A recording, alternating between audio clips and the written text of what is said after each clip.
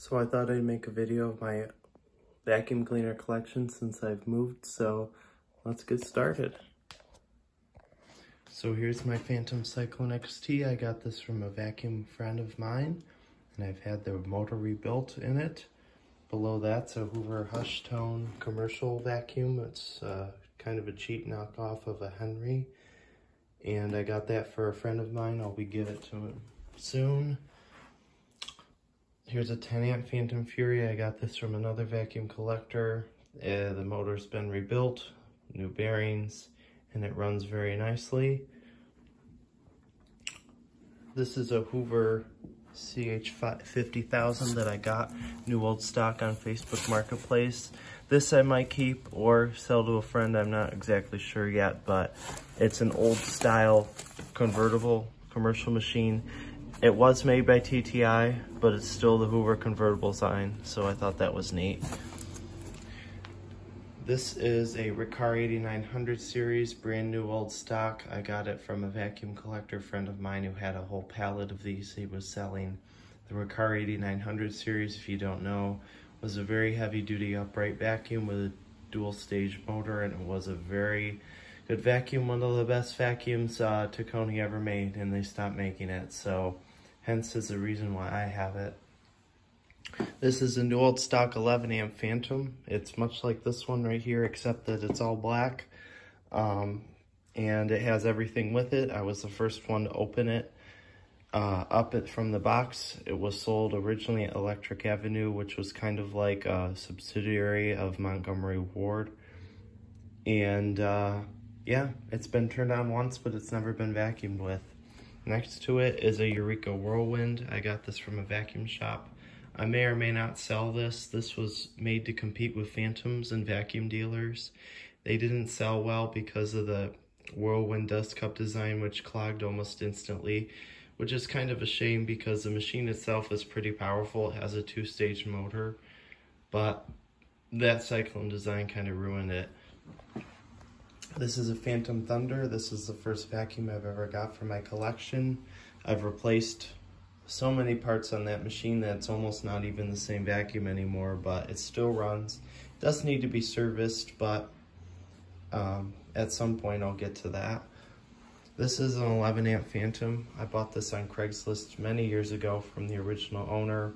It wasn't used a whole lot. Um, I have the receipt. He bought it through the 1-800 number that you could order these off of. He also had the attachments in the manual, so that was nice. This is a Kenmore Destiny Plus. Uh, this came off of eBay many years ago. It was a 15th birthday present for me from my grandmother. I have this Destiny Plus because my dad bought one at Sears when I was born in 1998. And I haven't done much to it other than cleaning it up a little bit and replacing the HEPA filter and belt when needed. This is a Kirby Convac. This is probably going to be going to a vacuum collector friend of mine. These Kirby's were sold in vacuum shops. Kirby distributors didn't like that, so they pulled this off the market. It was made around the time uh, Kirby Heritage models were out, the one with the orange bag. Um, and that's a small platform, I guess, which is kind of unusual because by that time, Kirby, for the most part, gone away from the smaller head design, but they brought it back for these machines. Behind it, it's Amway ClearTrac. I got that off of Craigslist. I've replaced a couple of the parts. I bought it from the son of the original owner who loved the machine. Um, she just unfortunately um, was too sick to use it anymore. Um, and it's a little rough. The handle release is worn and so is the height adjustment, but the vacuum still runs pretty strong.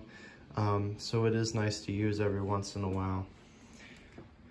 Behind that's a Kenmore upright. That was my grandmother's vacuum, one of my grandmother's. Um, she used it for a very short period of time, so it's been kept in really good shape, but I did have to replace the cord because one of the prongs came off. This is a Hoover Advantage. This vacuum was made to be sold in Hoover service centers. It's kind of obscure because I guess they just didn't sell a lot of them and you could only buy them exclusively in those stores. Um, it's been rebuilt uh, and it does work very well. I'm not the biggest fan of this style convertible design. I like the metal-based ones better, but still to have a fully surfaced Hoover is a very nice thing to have. Up here is a Eureka Superlight. I got that when I was nine years old at Walmart and I bought it not to collect but to actually use so I didn't really consider that part of my collection. Um, you know, and still I started actually collecting them since I didn't buy it for that purpose. I don't use it much anymore just because I don't want any of the parts on it to break. This is a TriStar DXL that I got new in stock from a vacuum collector friend of mine, or new old stock, I should say.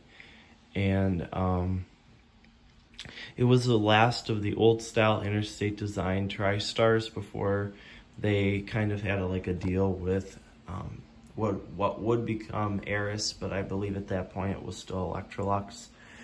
So this still has the old metal wands, not the pl clunky plastic wands like the newer ones have. So these are my three Kenmore canisters. This red one was one of my grandmother's. She bought it brand new in 2004 at Sears. It's not a progressive. It doesn't say progressive on it. By this time, the higher end model that had the onboard PowerMate Junior was out, so this became the middle of the line model. And I still have all the paperwork for it.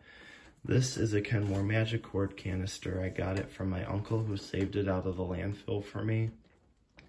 And this vacuum's had a ton of work. I replaced the hose with a new old stock plastic hose that I found at a thrift store um, that these hoses don't crack like the old vinyl ones do, so that was nice.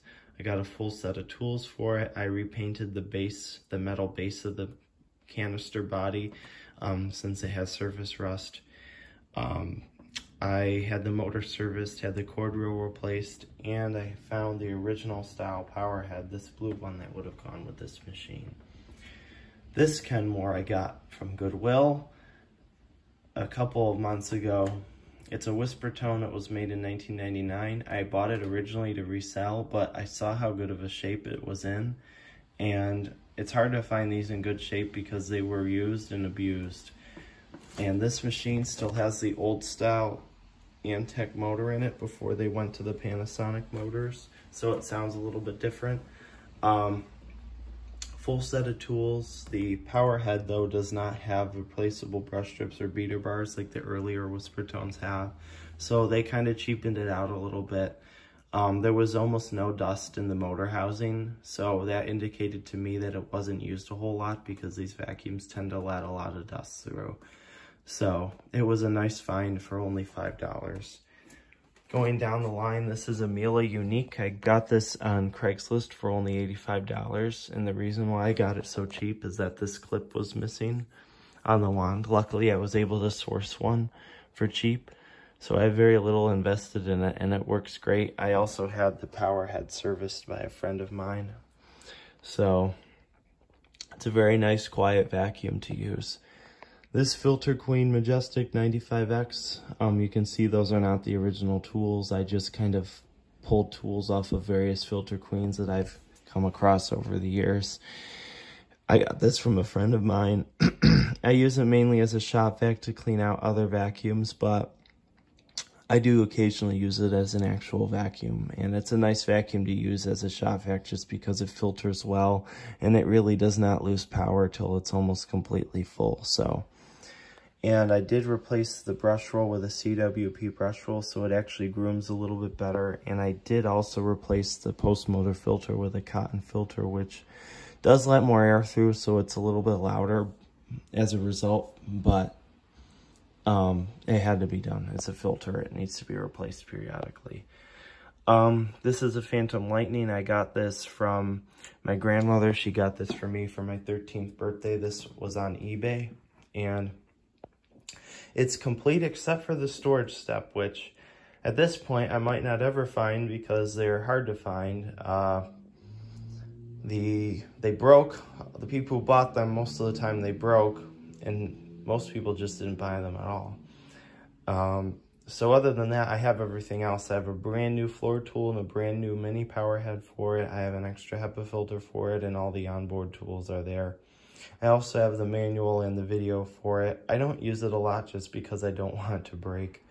Um, I did have to have the switch fixed. There was a short in the switch um, early on when I had the machine, but I did get that fixed. Last but not least, this lovely Rainbow Performance Edition um, SE. And I have this because I wanted a vacuum that would pick up wet spills if need be. And I did ironically have to use it for that a couple weeks ago. Um, I do have the basin on it just because I did let it completely dry so that it won't rust anything out. So I think it's okay to keep it on there now that I let that basin completely dry out. But um, I wanted this particular model because I wanted an older rainbow. I didn't care about having a HEPA filter because I don't have that that much of a sensitivity to dust and I'm not picking up a lot of fine particulate with it. If I need to do that, I'd use another machine.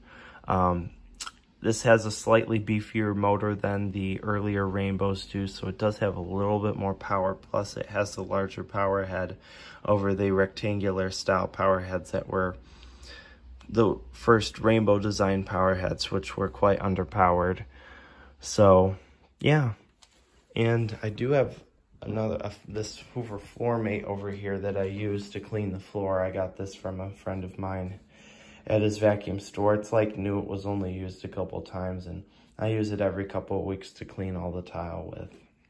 So that is my collection and I, I hope you enjoyed the video and let me know if there's any machines that you've seen that you'd like to know more about. Thanks.